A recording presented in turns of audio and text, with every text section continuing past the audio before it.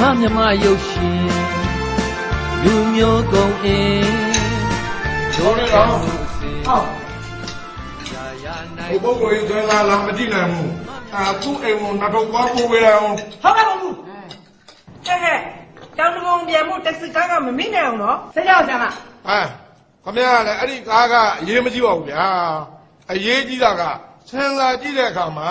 အသေးအဖွဲကိစ္စလေးတွေဆိုပြီးတော့ရှော့ပေါ်ပြီးတော့မကြည့်မိဘူးပဲ နော်အဲ့ဒါလို့ရှော့ပေါ်ပြီးကြည့်ခဲ့မိလို့ဗီဒီယိုဆင်စာဥက္ကဋ္ဌတူးဆောင်ညွှန်ကြားရေးမှူးကိုယ်တိုင်ဗီဒီယိုစကားတကားကြောင့်အမန္တလေးရဆရာတော်ကြီးကိုသူကိုယ်တိုင်ကိုတောင်းပန်ခဲ့ရပြီးပြီကျွန်တော်လည်းသာသနာရေးဌာနပါပဲဗျ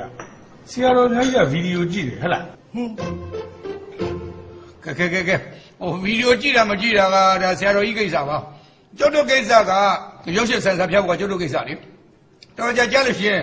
စားပြီးနားမလဲလို့ပြောနေကြအောင်မယ် ကဲရုပ်ရှင်ကြည့်ဖို့တမြန်စားကြဟုတ်ကဲ့ပါဦးဗျာ